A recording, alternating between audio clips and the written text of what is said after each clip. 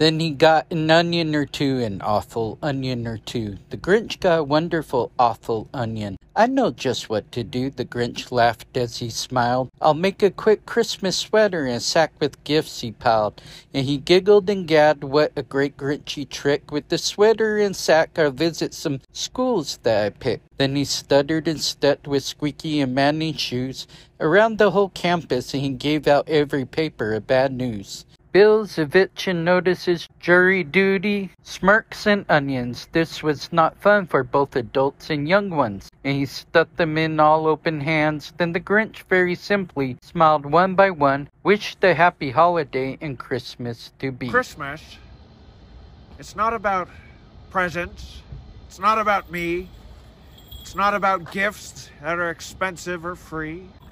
It comes down not to what's in your cart but to helping others and this and the size of your heart. He brought everything to them and did his part, and he himself, the Grinch, saw growth in his heart. Welcome, Christmas, welcome, reader. For more of the Grinchy mess, read on to know more, not less. This is Nick Yamashita reporting for St. George News, your number one source for local news.